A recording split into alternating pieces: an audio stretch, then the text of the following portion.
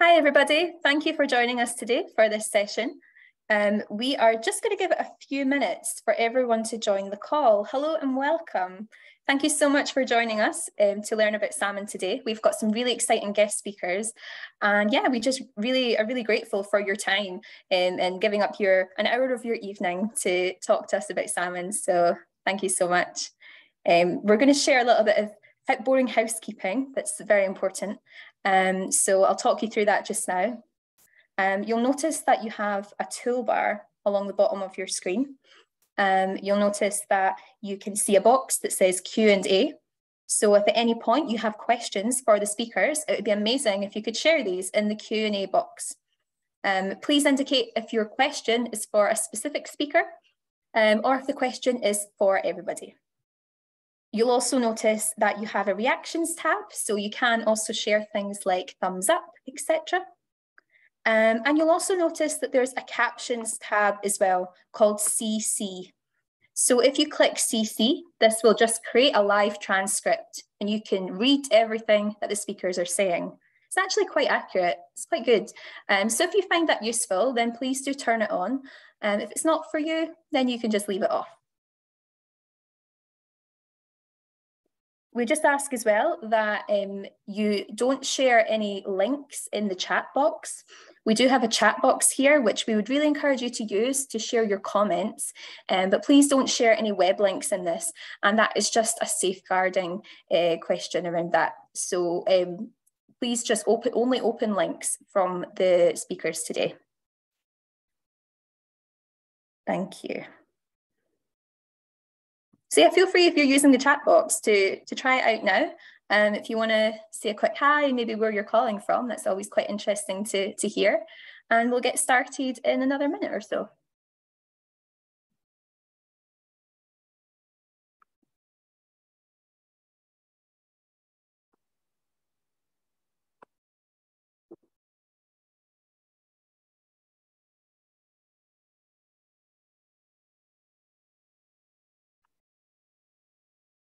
And the last thing I'll just say as well is that uh, this webinar is being recorded. So um, if at any point you need to jump off or you want to watch it back later or you want to share it with some people, then look to the Scottish Wildlife Trust's YouTube channel.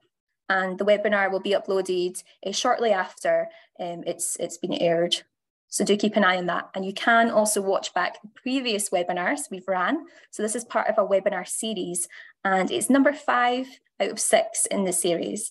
Um, and each webinar has profiled a different marine species and the people who are behind the scenes working really hard to protect that species. Um, so do please watch the others back if they interest you as well. Good stuff. So it looks like the attendee numbers are quite stable. Um, so I think we'll just crack on just now. And if anyone does join as we go, then that's absolutely fine. Um, so yeah, just to say again, thank you so much for spending an hour of your afternoon um, with us this afternoon to actually take part in this webinar. Um, it's really exciting that we've got such fantastic guest speakers here, um, people who are working on salmon in Scotland and can share a lot of really great insight as to how they're faring um, in our waters in Scotland. So we'll do a bit of introductions as we go. In the first instance, what we'd love to do is ask you a question. So you're going to see a poll pop up on your screen. So the question is, which of these do you think represents the greatest threat to salmon? So we're looking for one single thing. It's really hard, I know, because there's so many threats that affect salmon. Um, but what do you think is the greatest, in your opinion? So we have everything from water quality and pollution um, to developments. Could be things like offshore wind or even bridges and things along rivers, climate change, invasive species, fishing and aquaculture, and also habitat loss as well. So I'll just give it a wee minute because the bars are moving quite fast, which means a lot of people are voting.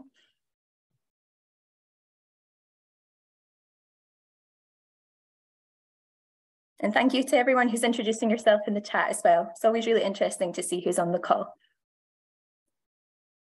Okay, so it looks like the bars, oh no, they're still moving. Um, I'll give it just another few seconds.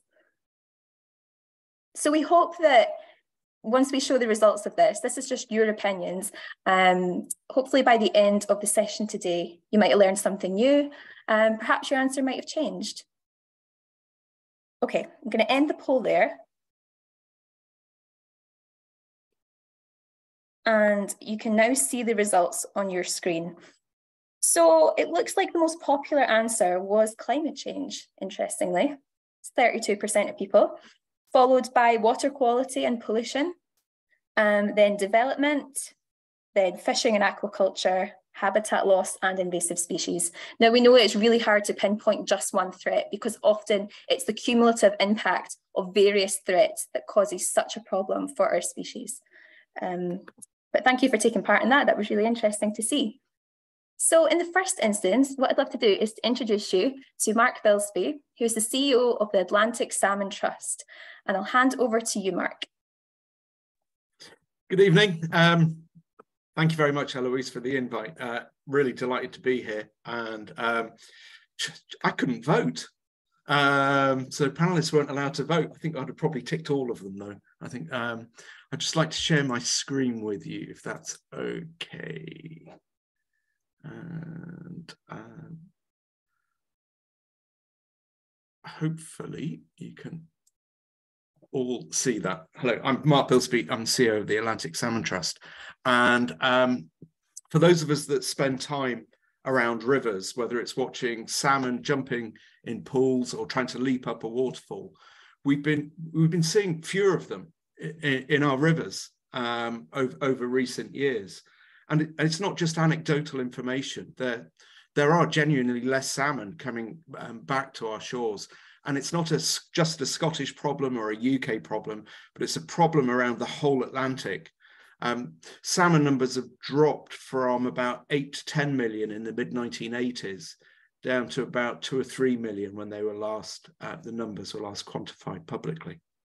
Um, and it's a decline that's not showing any signs of flattening out. Um, and it's, it's a severely worrying trend.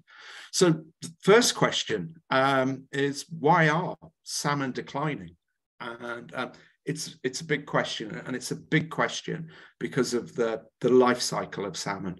They're one of the few species that spend the first few years of their life, one, two, three, maybe even four years or more in fresh water, living in the headwaters, growing from the size of an egg, the size of a pea, uh, up to a, a juvenile salmon called a smolt, that's about five, six inches long, and they they then head out to sea um, in the spring, and then become real ocean migrators. Um, the first year they head up to the uh, the coast of Norway, up to a place called the Vøring Plateau, where they're in rich feeding waters, along with lots of other species of fish. Um, some spend more than a year at sea and will venture far afield as the west coast of Greenland. So they've got this really complex life cycle, which means answering the question, why are salmon declining? Such a simple question, really complex to answer. And for us, um, when you've got a big problem, try and split it down into lots of smaller problems. So what we're trying to do is take that life cycle of that salmon from the headwaters of the rivers um, through the main stems, their estuaries, their coastal zones, and then as they go into the open ocean, find out where and why they're dying. And we've called it a, a likely suspects framework. Um, but it's a bit like uh, life insurers when they work out the different risks to people, what's killing the fish and where. Um, and we've been looking at a segment of this, and Eloise has asked me to talk about the Moray Firth tracking project. And where the Moray Firth tracking project comes in is, is in this part. It's looking at the journey of these young fish, these smolts, as they head down the main stem through the estuaries and out to sea. And we've been using a technique called acoustic tracking. Um, and I'll show you the ingredients for an acoustic tracking project so you can get a good understanding. But first, we took the area and the Moray Firth. And the Moray Firth's really important because it's host to about 20 to 25% of the whole of the UK's wild Atlantic salmon. These are the big rivers, um, not all, but some of the major rivers coming in uh, into our into the sea, into the North Sea, uh, with the salmon. And over the three years of the project, um, we wanted to understand where are the fish going missing? And we spoke to fishery managers, and I see there's a few on the call. They'd always say, well, the problem's at sea. Um, you know, we've, we've, got this loss of fish at sea. Um, there's, there's, nothing we can do about that. And we wanted to check that, we wanted to come in uh, with no preconceived ideas. So we wanted to find out where they were going missing. We then wanted in the second year to find out what are the suspects that are responsible? Why are these fish going missing? And then, in the third year, uh, we lost a year due to COVID. Um, it was to find out what are the mortality drivers, what's driving this mortality, and most importantly, how can we inform managers? How can we better look after these precious few remaining wild Atlantic salmon? So the ingredients, the main ingredients of an acoustic tracking project. Um, first, you need a salmon. You need a young salmon uh, that you can tag with an acoustic tag. And all an acoustic tag does is it puts out a coded ping and it says, I'm number 32. And then in the middle picture, we've got a, a listening station, a receiver that's just listening out for those coded pings as they go past. And we put those either in the riverbeds or out at sea, and they're just waiting, listening for the fish, and storing that information on a small hard drive on that receiver.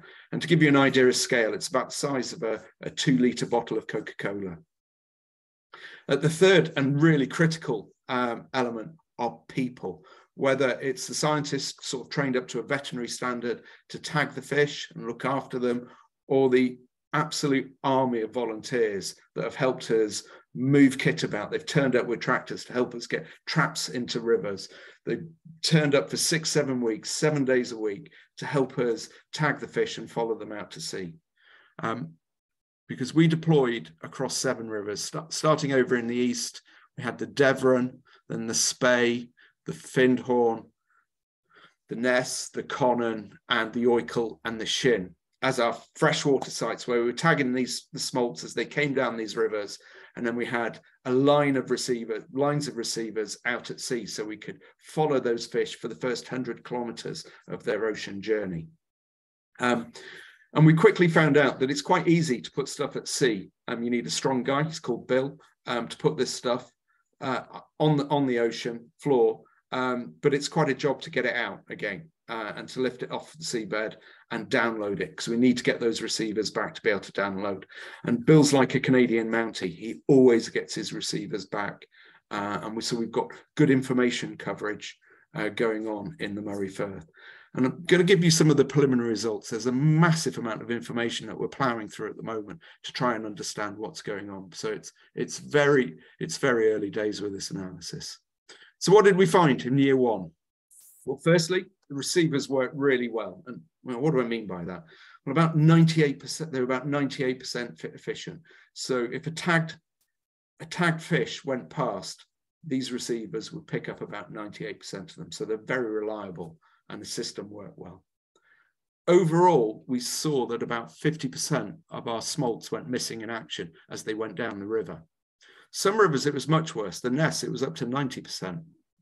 And uh, we, we had to start looking into that. Why, why are there these differences going on? Um, but when the fish got to sea, it was a relatively safe space for them as they passed through the estuary and out to sea.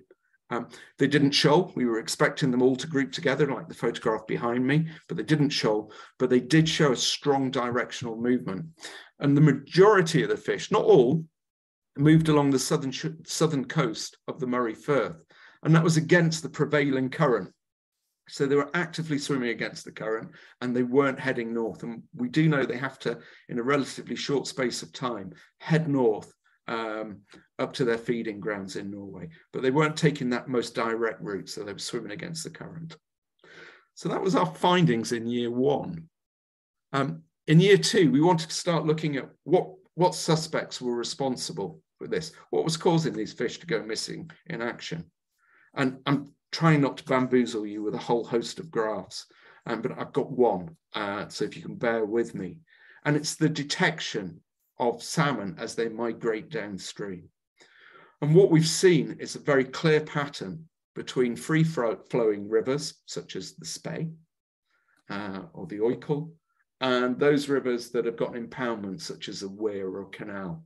Um, so the free flowing rivers are in blue, and we're seeing a much greater detection of fish going down. What's happening with the impounded rivers or where there's these pinch points is we're seeing a sudden drop off around the impoundment of the detection of these smolts as they go through. And that could be for a whole host of reasons.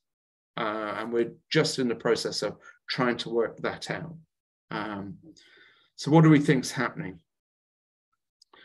Well, the key take-home messages from um, the first two years were repeatable trends. If, if you're going to get, it's it's fine getting a pattern in one year, but you need to repeat over several years to find out if the trends that you're getting are real or whether you just tagged fish in an odd year, whether the rivers were too high, too low, it was too hot, it was too cold. You, you need normal. So you can only get normal by doing this over a few years. We, it was starting to appear that if these patterns were correct, that barriers to migration were clearly compromising smolt survival. And there's the there's the obvious candidates of this is potentially increasing predation on the smolts, where you're getting um, smolts being held back and the predators seeing that there's a congregation of prey and attack and going in and uh, attacking and eating those fish.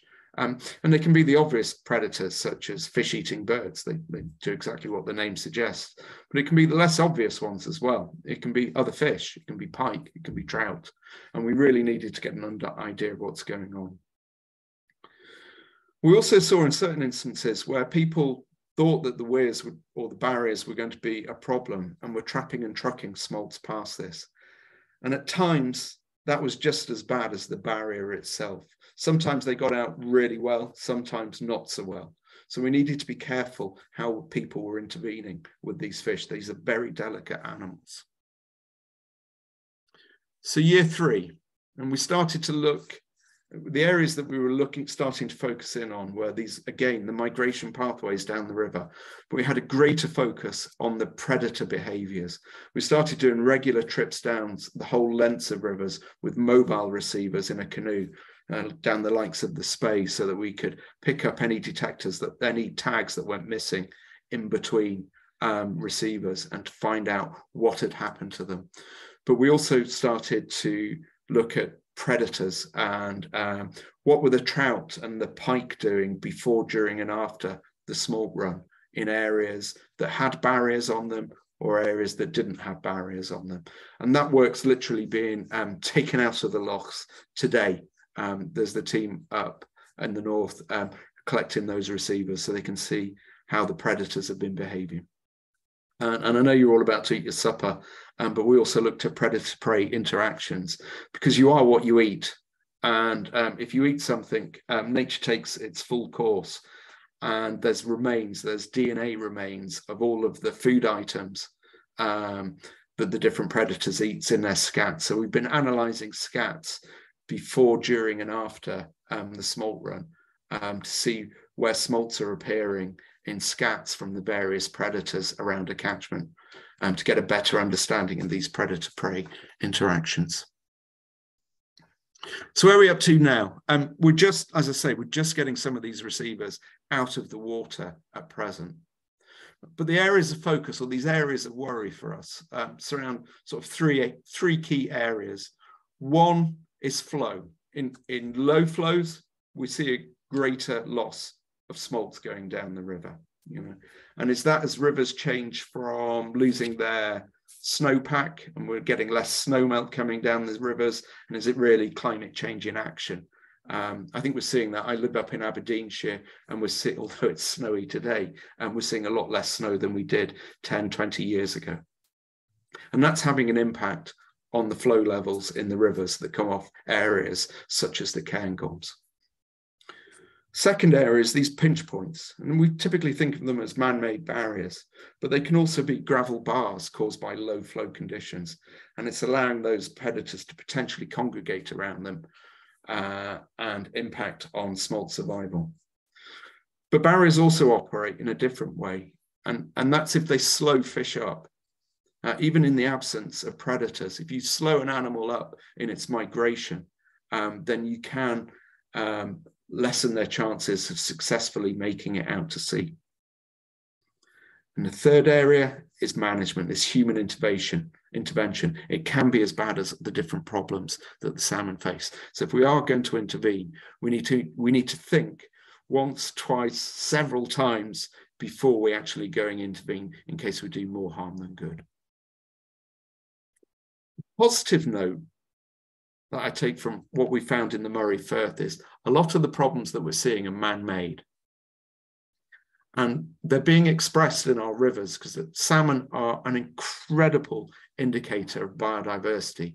They are that canary in the coal mine for our rivers and oceans. And they're telling us all is not well with our rivers and our seas. And the problems that these salmon are facing are all man-made. The vast majority of them have a human origin of one form or another. And it's really up to us if we want salmon to have a future. It, it's not going to be a random choice whether salmon survive in 20, 30, 50, 100 years' time. It's because people, like the people on this call, will take the action, look after these salmon, remove some of these um, uh, pressures that the salmon are facing, these man-made pressures, and give them the choice. And it's really easy to get caught up in the science of this and, and worry to the nth degree about the salmon. But what salmon really need to have a viable future it's just three very simple things. They need cold, clean water. They need cold water. Um, they need to be resilient from the impacts of climate change.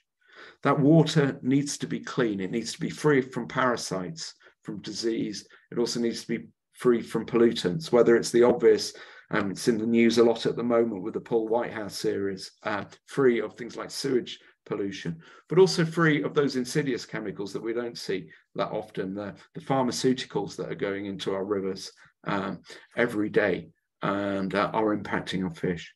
And thirdly, it's, um, although it sounds like a no-brainer, salmon need water. Um, we need to um, ensure that they have enough flow, enough natural flow of water going down their rivers, down these rivers, so that they can complete their life cycle. They're big ocean migrators, big river migrators, and they need they need these corridors so that they can migrate down down them and then back up again. So that's all we need to boil it down to: cold, clean water, um, and fish to have access to that. Um, my last but one slide is a massive thank you, um, whether it's to our partners in the Missing Salmon Alliance who helped fund the work that you've just seen, in partnership with the Atlantic Salmon Trust, provided us with moral support, or the over the 50 organizations, the fishery boards, the trusts, uh, and their volunteers who gave thousands of hours over the last three years to help us deliver this project. We're not finished yet. This is very preliminary work uh, that I've just presented on, but we, we do understand the urgency to get these findings out there so that we can start to make a difference um, for salmon and give them a future. So thank you. Um, there's some much more eloquent um, films on the work that we've been doing on our website at atlanticsalmontrust.org. And please have a look at them and feel free to reach out to us at any stage. Thank you. Thanks very much, Mark. Thank you. That was so interesting. Um, yeah, I really like the reflections at the end. I mean, when you state it so simply and say cold, clean water, and it sounds so simple, but then when you break down each of those elements, there is a lot to consider. So thank you so much. That was really, really interesting. Um, we'll then move on to our second guest speaker, who we're really excited to have on the call today. So we have Dr. Willie Yeomans from the Clyde River Foundation. I wonder if you're there. There we go. Fantastic. So um, Willie Yeomans is the catchment manager. Over to you, Willie. Okay. Is can everybody see my screen? Is it shared? Not yet. Not yet. Um, okay, sorry. But I'll, I'll let you know when I can see when we can see it. Sorry. No worries. There we go. That's it now. Okay. Uh, thank you. Good evening, everybody. Um, Mark's talk's fascinating, and the scale of it is a, it's a, it's a big deal. Uh, I'm about to bring it down, right down to one catchment, although it's quite a big catchment, and I'm uh, I'm going to I'm going to talk a lot about data and evidence, evidence-based fishery management is what the Clyde Foundation is about a lot of the time.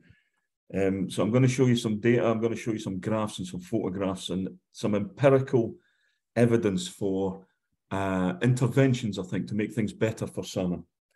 And I'm also going to demonstrate that if you start with a low enough bar, there is no bad news. Um, the Clyde salmon, the return of salmon at the Clyde is one of the great good news stories in the history of freshwater biology. There, I've said it. So strap in, we'll go. Um, just as a piece of background, uh, the Clyde is a big piece of Scotland. It's uh, a big river, covers eight counties. It's a recovering river. It's coming back from centuries of alterations to the bed and the banks and pollution. Um, it also is where the people are. It contains about a third of Scotland's population, and we probably do have uh, the most, uh, probably the most uh, urban Atlantic salmon fishery on the planet. The river was formerly heavily industrialised, and it's it's well known worldwide for that.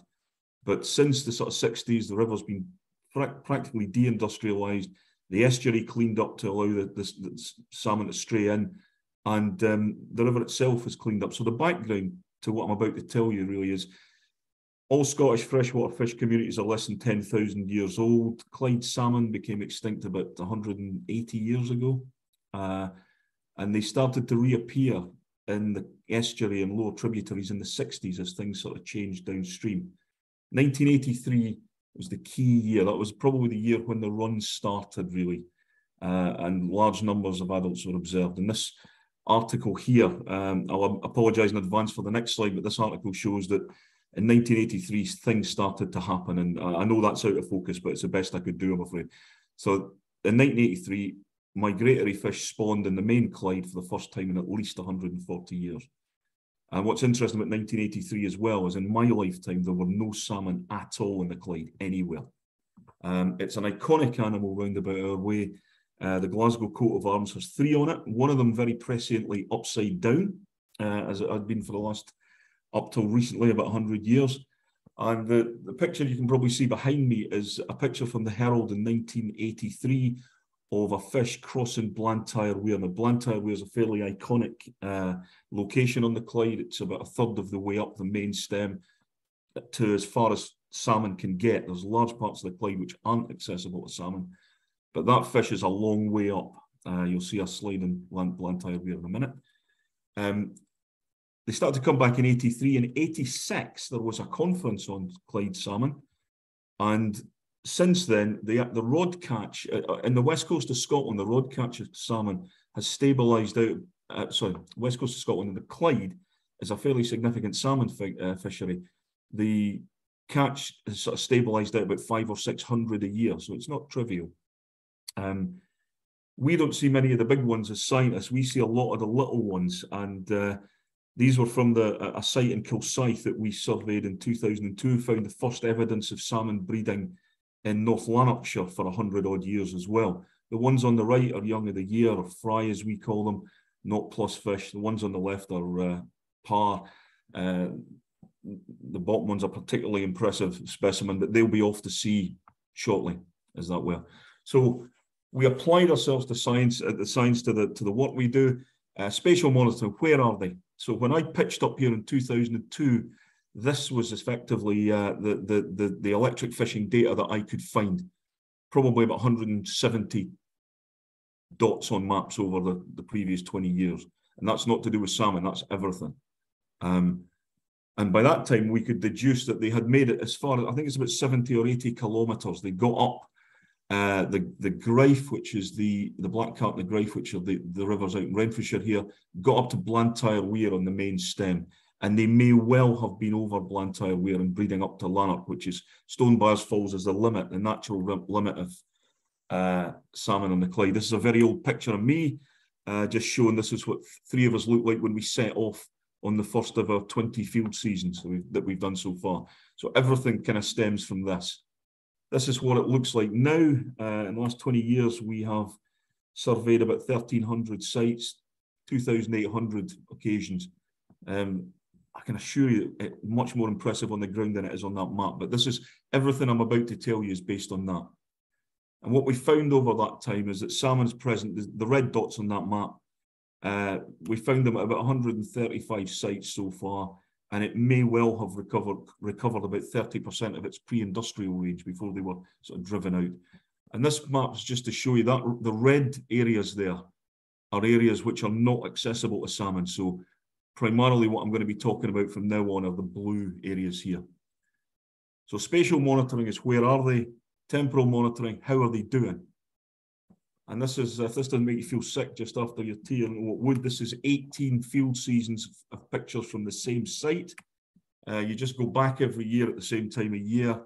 Uh, this is the Allander, which is within Glasgow City. And we now have about 20, 21 years worth of survey data here. And some of these figures for juvenile densities are absolutely astronomical. The, the, the 400, four and a half per square metre is a lot of salmon, a lot of juvenile salmon. So um, lots of information on some of these sites. That one within the city of Glasgow, we don't tend to shout about it, but so we have numbers, and this is what a uh, 2015 we sort of looked at every single salmon we'd caught up to then and measured them all, and this is what an average Clyde salmon looks like. The not plus year of the fry, the young of the year, they thin out quite a lot.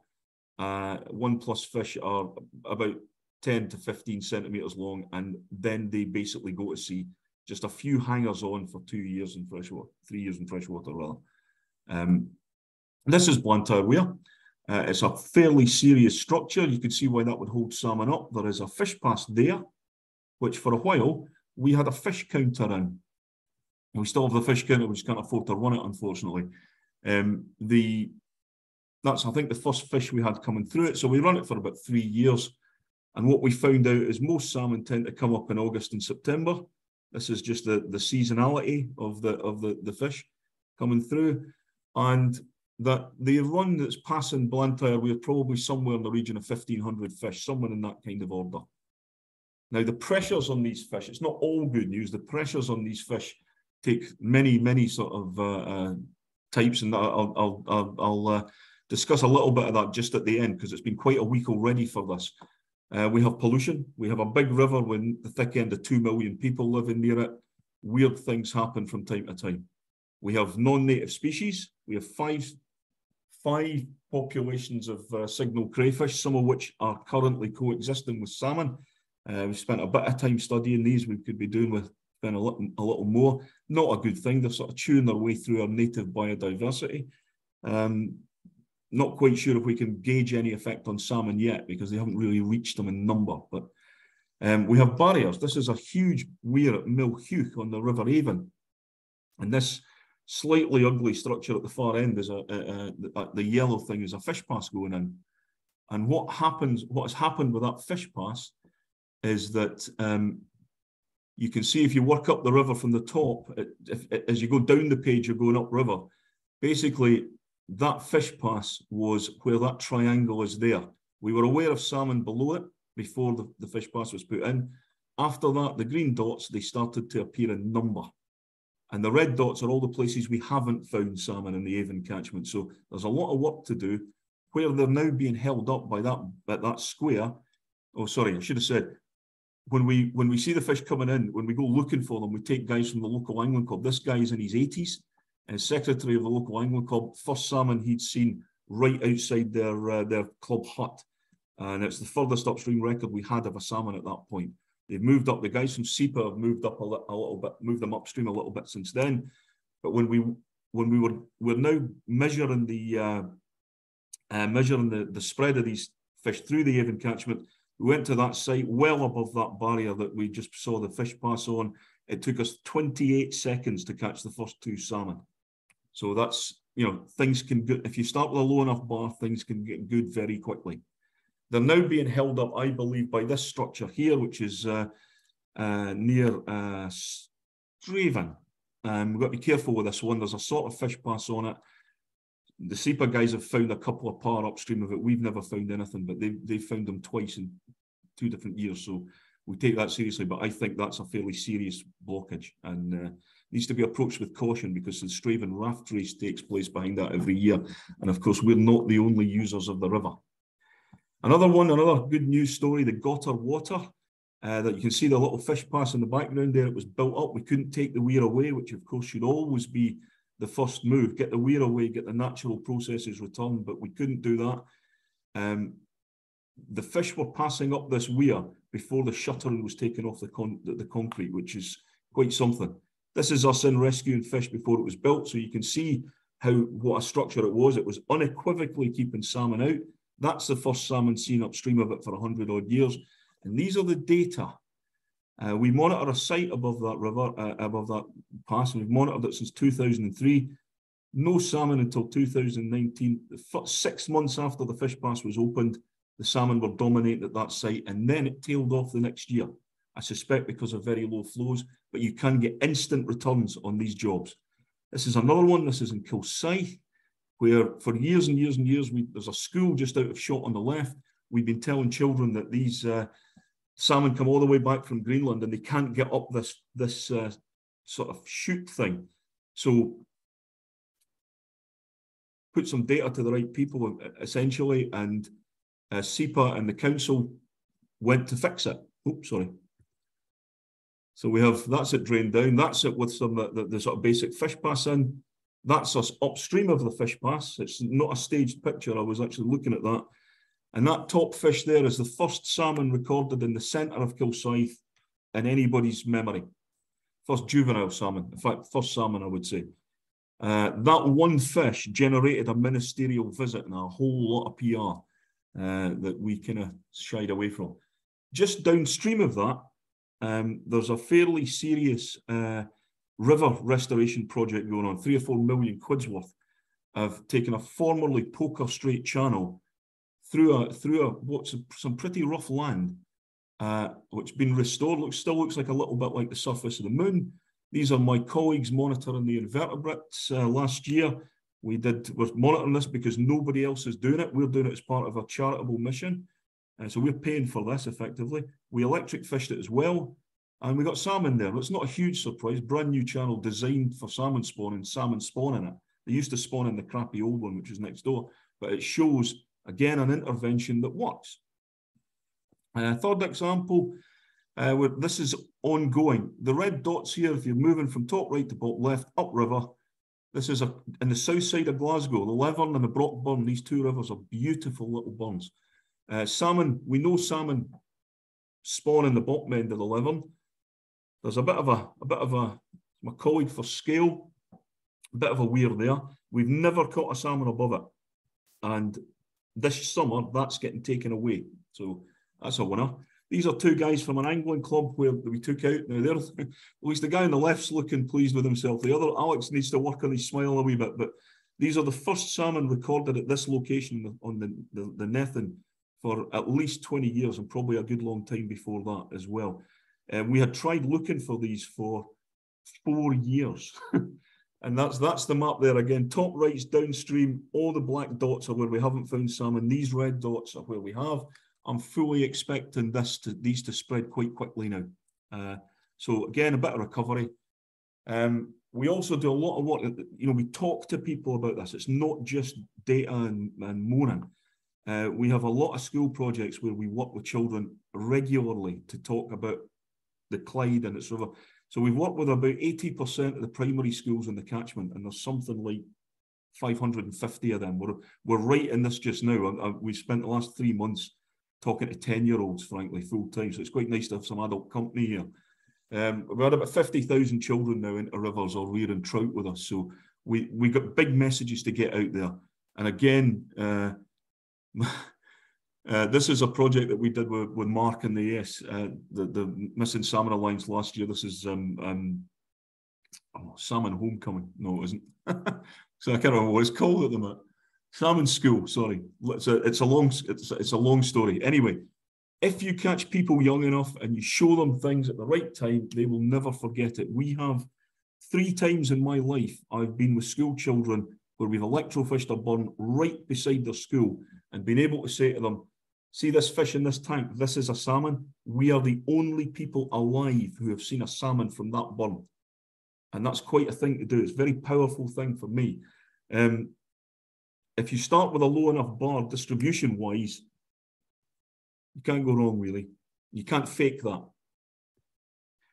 Problems, we were talking about problems. Mark talked about water uh, quality and quantity is a big one. This is a brand new fish pass in Kilsyth that was dewatered by an abstraction last year further up. Brand new. You can't you can't have you can either have one or the other. You can you can't have over abstraction and salmon going up there. So we every time we do this, we have a new set of challenges to deal with. This was last, this is actually this week. This is the Brock Burn that I talked about earlier on, completely dewatered by an abstraction upstream. Uh, there's a lot of lot of stuff going on about that at the minute. With a bit of luck, you'll never have seen this before, despite it being a terrible picture. That's a thing called sewage fungus.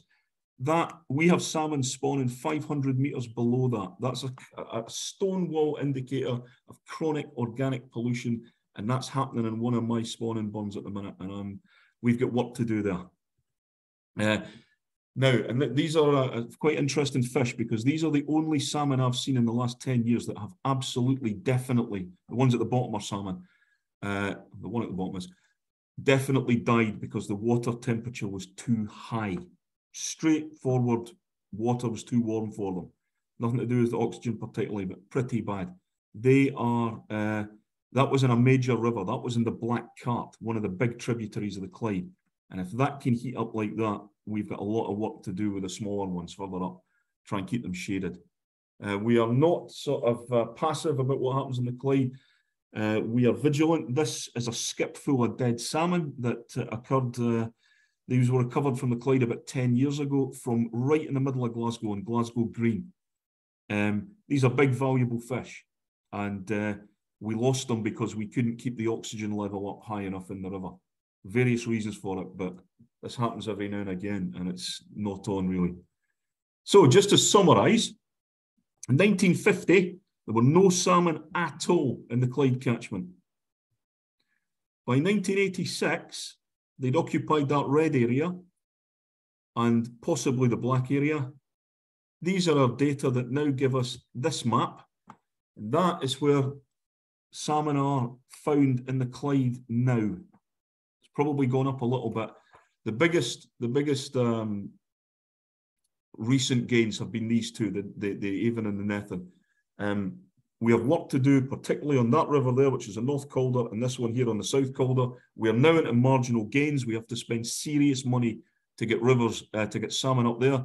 But the people who live at the top of these rivers pay their taxes the same as people who live everywhere else.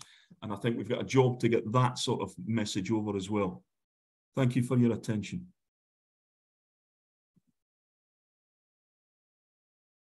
Thank you so much, Willie. That was so interesting. Yeah, there's lots of really great reactions that have been happening through that session and at the end as well. Hope you saw those. Um, yeah, thank you so much. Um, for the sake of time, um, we're going to jump to a quick poll question um, and then we're going to head over to Jess for uh, a little bit more information before we move to the Q&A. Um, the poll question we have for you guys, which will make sense once you see what Jess is going to talk about, um, is which of the following statements comes closest to your view? The term nature-based solutions, NBS, have you heard of it before? So the first one is you've heard of it and you know a lot. Maybe you've heard of it and you know a little, or you've never heard of it. So we'll just give just a wee minute for that to tick over. And all will become clear once we get Jess on the call to give her presentation.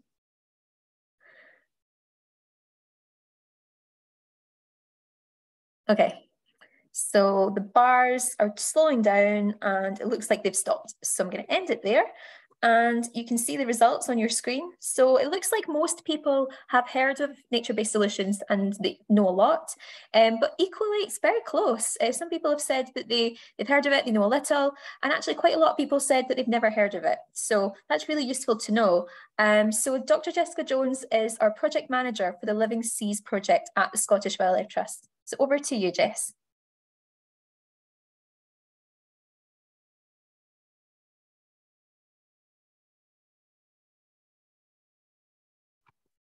Thanks very much, Eloise. Um, let me just check. Can you see my screen okay? Yes. Okay, brilliant. Um, yeah, so basically just going to give a little quick overview about kind of general advocacy and policy work um, in Scotland Seas. Um, with the Living Seas team, um, we kind of, our work is uh, separated into two parts. So we have uh, some policy and advocacy work, and then we have an engagement community engagement side. Um, so I think uh, the previous presenter summarized all of these key threats um, as well, um, but uh, just to give a brief overview that the uh, key threats uh, to salmon um, that have been kind of summarized in various reports are um, poor water quality and changes to water flow, um, barriers to migration, uh, such as weirs, and then uh, aquaculture um, can be through sea lice, um, but also escapes through kind of direct competition. Um, habitat loss um, along rivers, especially their kind of uh, gravelly spawning uh, habitat. Um, predation uh, and fishing. Um, but uh, if you want to have a look at for good fishing practice, good sustainable fishing practice, uh, you can look at the Marine Conservation Society's Good Fish Guide. Um, I'm not going to go over most of the fishing um, anymore, but we do actually have a policy on aquaculture and we also have a policy on fisheries management on our Living Seas website if you do want more of our advocacy work um, on that kind of area.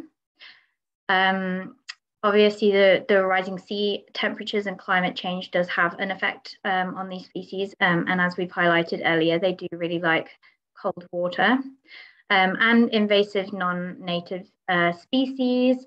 Um, I think Willie actually um, summarized some with the crayfish, um, but also invasive species in terms of plants uh, along the side of the riverbed, uh, along the side of the river. Um, so what can we do about this? Oh, it's not letting me change. There we go. Uh, we need an ecosystem uh, based approach that addresses all of these threats simultaneously. Um, so basically the best way to tackle these is to do a kind of landscape level um, and uh, lots of restoration projects uh, achieve this.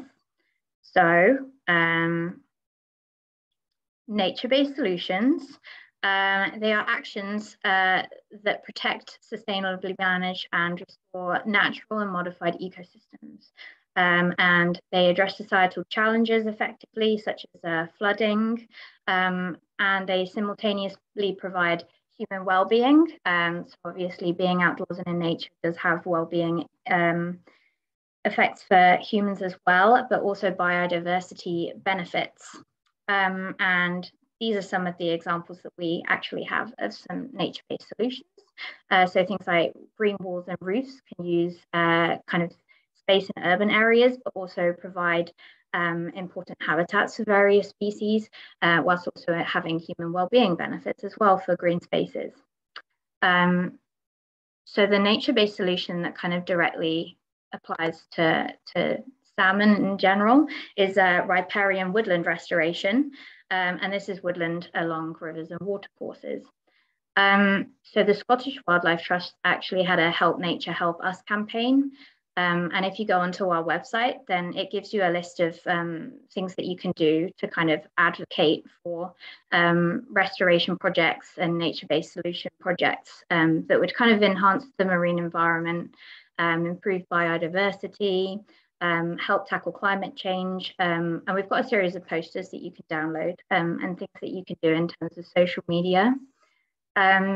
so riparian woodlands in themselves obviously help regulate the the river's temperature, which also benefits species such as sea trout, but also benefits salmon, freshwater pearl mussels.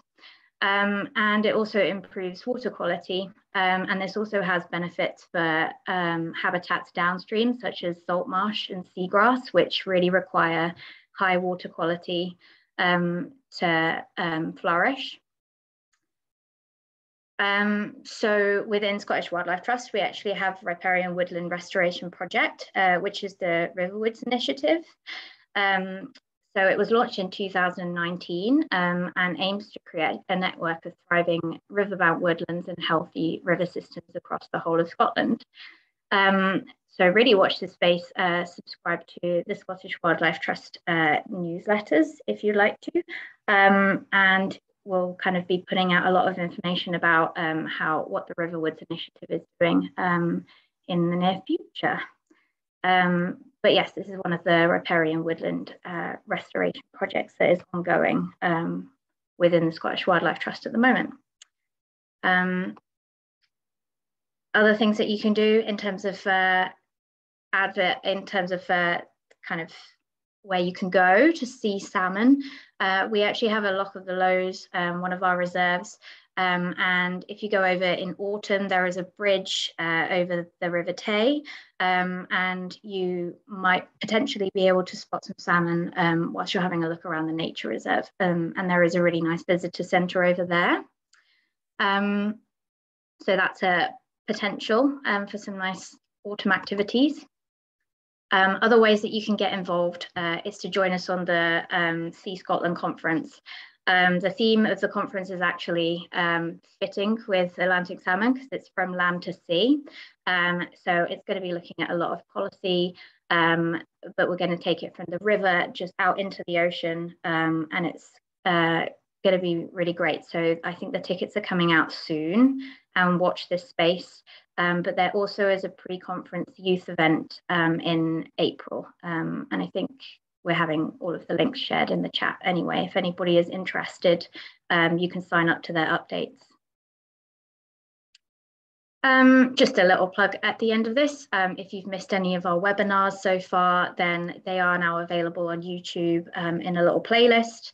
Um, so don't worry if you've missed any of the um, ones at the moment. Um, coming up, we have marine mammals uh, on Tuesday the 14th. Uh, it's kind of uh, timely because I think on Sunday there's the Wild Isles starting. Uh, and in the first episode, they're actually going to be talking about orca. Um, so you can get a little bit of information in the introduction in that documentary and then follow it up with uh, some marine mammal um, webinar chat um, on the Tuesday afterwards.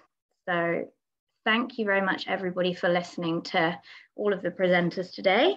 Um, and we'll start with the Q&A session now. Thank you, Jess. That was brilliant. Um, yeah, so let's just dive straight into the Q&A. Um, I've just chucked a, a, link in the chat box actually. Um, the Sea Scotland conference Jess mentioned, the tickets go on sale this week. They go on sale on Wednesday. Um, it should be Wednesday, so um, keep an eye on Eventbrite for that. But yeah, I wonder if we can invite our speakers to pop your cameras back on and we can work our way through some of the questions that have came in. Thank you so much to everyone who has been listening in and has shared reactions and has shared questions as well. Um, so let's have a look at the first question here. So we have a question from Andrew and this one is, it looks like it's for Mark. So you talked a bit about snowfall and precipitation. Um, so is there a correlation between winter snowfall levels in the Highlands or participation in the lowlands compared to levels of smolt runs over the years since we've started seeing drier winters and lower rainfall in the spring months? Um, enormously lowering flows, question mark. Um, I think you may have just answered that, but is it possible to correlate past precipitation with reducing smolt runs? Do you have any comments, Mark? Um, there's a common sense version, which I live in Aberdeenshire on the Dee. in 1976, the Dee stopped being a snow-fed uh, river and became a rainfall-fed river, where the majority of the water came from rain instead of snow because of climate change, and, and it's that's increased. We haven't done the analysis yet, um, but we will be doing it uh, in the future, um, so we can give a scientific answer uh, to to the work we're doing. But we're going in with an open mind. Sure. Thank you, Mark. Um, we have a question here, which is our next popular question from Johnny. Um, this might be for perhaps both of you or everybody, I would say everybody actually. Um, what are the difficulties involved in removing barriers altogether rather than constructing a fish pass, which may not be as effective? Who would like to start with that question? Well, I've had some experience of this, although I'm not an engineer, I'm very much a biologist. And uh, we started in the Clyde a while ago to sort of trying thinking we could take away rather because we have dozens, if not hundreds, of these redundant structures. Uh, the trouble is there are issues right from the start with ownership. You have to find out who owns these things and who admit to owning them. Uh, this is something that SEPA deals with routinely, actually, and does quite well, I think. Um, there the, the one that always gets me is that the, there's a,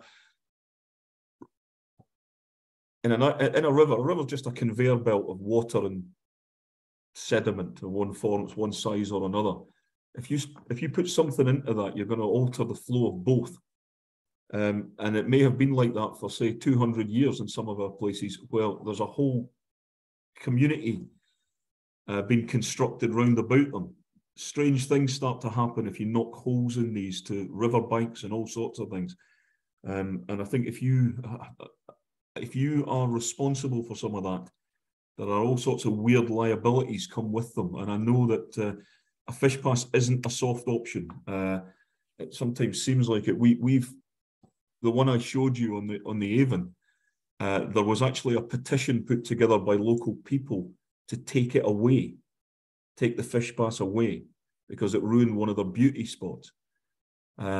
Now, it doesn't matter how well you think, how well you think you're acting, or what, what it is. You, you really do need to speak to the people around about you. So there's there's that. There's the societal side of it.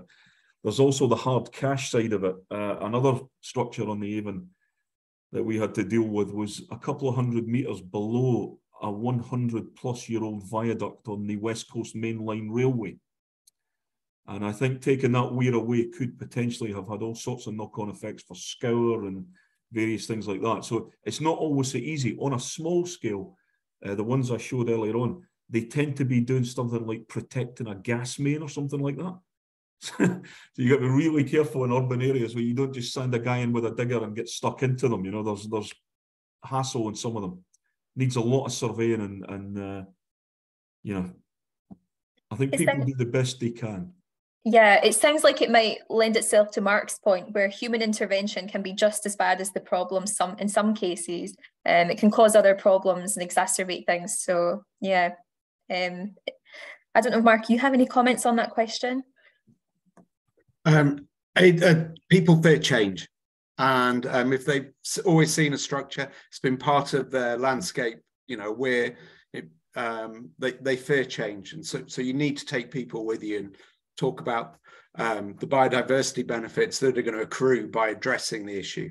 Um, I'd put that as the first problem. The second is each of these weirs is surrounded by a sea of paperwork, and um, trying trying to um, get through that paperwork to answer all the questions, find out where the gas mains are, is, is a soul destroying um, enterprise. But it's what we need to do, and we need to overcome this apathy and we need to be able to align all of the policies to to look at the societal gains that will happen if we have salmon right throughout places like the Clyde. You know how that's enriching people, the community's lives there. So those kids that had that fish pass going on on their school, um, my my kids would have loved that. They, they, they'd just be blown away by that, knowing that the salmon coming up to their areas. And, and why should we prevent them from their that cultural heritage? So we, we do need to overcome this apathy and and um, get them out, get get them get get those ob- obstacles out, and not be scared to do it. Well said, Mark. Absolutely. Um, the next comment we have just now is from Susan, and it's to what extent might rising water temperature correlate with reduced depth and flow? Um, does anyone have any thoughts on that? Um, well, if it's hotter, um, we're, we're, seeing um, predictions for lower summer flows, so 18% lower summer flows in certain areas. Uh, and when the flows do occur, they it's it, it rains much more intensely over a shorter period of time. So you go from having a drought to having a flood, and then back to having a drought. And we need to be thinking about how we can look after the rivers to restore those landscapes so they can hold water, so they take the edge off floods and slowly release that water back through, whether it's through peatland restoration or woodland creation through likes of riverwoods and um, be able to sort of manage that landscape. So it's not just a hard landscape water can permeate down easily. You know we can offset this. We can offset we can make our catchments much more climate resilient. And again, it, it's having that will to do it that's really vital. Yeah, it sounds like, you know, what we talk about when we say things like an ecosystem based approach yeah. to conservation, where we look at the, the system holistically um, and how, how it interacts. We're not just looking at, you know, for example, um, you know, one area of land or um, strip of forest or a catchment or river. It's it's scaling it up and up and up and thinking about the, the connectivity between that. Um, on the last question we'll have here, just for the, oh, we're, we're just a minute over. So thank you for everyone who's hung on the call for the last question. Um, the question's from Martin. It says, which parasites does Mark see as being a problem for salmon in the Moray Firth? And there's brackets in there saying water clean of parasites. So I'm guessing that means in healthy river systems. But it's it's not just the Moray Firth, it's everywhere that salmon roam. And um, salmon aren't really good at boundaries. They, they, they're right across the Atlantic. And anywhere, shouldn't really be more than 20, 30 miles away from a salmon if we had a good environment from a salmon in the UK uh, anywhere in the UK, we should be within that sort of distance. Um, so what do I think? What do I think of the parasites? Um, Jessica's already mentioned sea lice. There's a couple of species of sea lice um, that, that are present there, which cause issues. Um, but there's also different, it gets a bit nerdy, but there's different worms called things like Anisakis, which causes a red vent and irritates the back end of the fish, which is difficult. And then, then there's some more ones that are associated with human activities, such as there's one called a worm called Diphyllobothrium, uh, which Willie will know much more about, um, where seagulls are an intermediate host and parasitize fish. And seagulls become a problem when we don't um, cover landfill sites. So if you have a river near a landfill site, not only is it getting the leachate from that landfill site if it's not well run, but you're also getting lots of seagull poo, and that's got this parasite in it which can harm fish. But Willie's a parasitologist, so he can answer that one probably much better than I can. Thanks for that. I did my honours project on two species of Diphyllobothrium 30 odd years ago. It's been a while since. I, I, I, don't know too much about the current state of things. I, I, would have thought they would have needed quite slow water and uh, cyclopoids and things. That, I mean, they're much more common in, in lochs, very common in lochs. But uh, yeah, I'm not. I'm, I'm really not sure about that. I don't know. Thanks very much for um, for that. That's that's great to know. I think um, you know, I think what's clear is that you know, we've only had an hour for this session, and it was just a little bit of a, a brief overview um, of, you know, how salmon are faring um, in Scotland. And, you know, we could talk on this for hours and hours. Um, so, yeah, just to say thank you so much to everyone who's taken part and listened and hopefully learned something. Um, and a huge big thank you to all our speakers, um, to Mark, to Willie, to Jessica. Um, really, really appreciate you sharing your time and expertise. If anyone does have any further questions, feel free to send them to our Living Seas email address. Um, and we can always try and follow up on those to send you some further reading. So I'll just add that to the chat box just now. But otherwise, thank you very much. And um, we do have one more webinar in the series, which is next Tuesday. It's on marine mammals. So we'd love to see you there. Um, but otherwise, have a lovely evening. Take care and speak soon. Thank you. So I'm just going to end the recording just now.